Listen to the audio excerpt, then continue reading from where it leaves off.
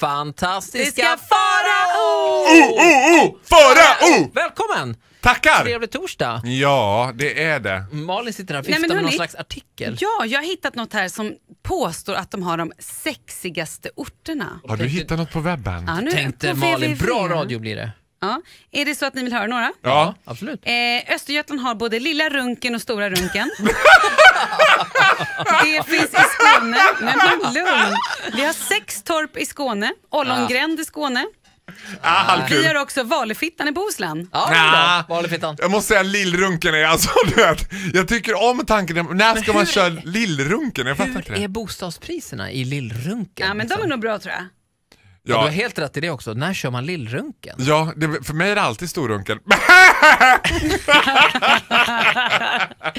Tvåhandsfattningen.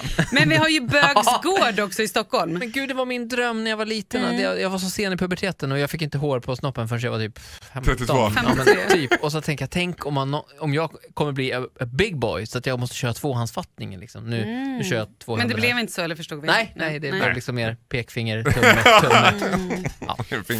Flatan också hörni i Bohuslän. Flatön? Mm. Ja. Flatan, det tror jag att jag har varit. Ja. Du- Flatön eller Flatan? Fun Flatön. fact här, min mamma är ju av det äldre gardet, Mm. eh, som många av våra föräldrar, och hon eh, var då eh, klubbmästare i segelsällskapet i Norrtälje.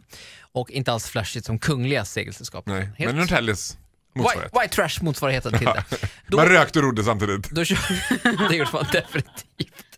Och alla hade någon slags per, underpermanentat konstigt hår. Men i alla fall, hon, då köpte de en ny båt som skulle ha, inte vet jag, en styrpulpetbåt, alltså en vanlig motorbåt. Och då fick mamma uppgiften att döpa den här båten.